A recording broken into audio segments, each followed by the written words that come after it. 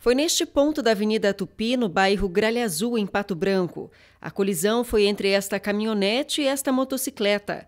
O homem que pilotava a moto sofreu ferimentos na queda. Ele recebeu os primeiros socorros no local e foi encaminhado à unidade de pronto atendimento da cidade. O condutor da caminhonete não se feriu.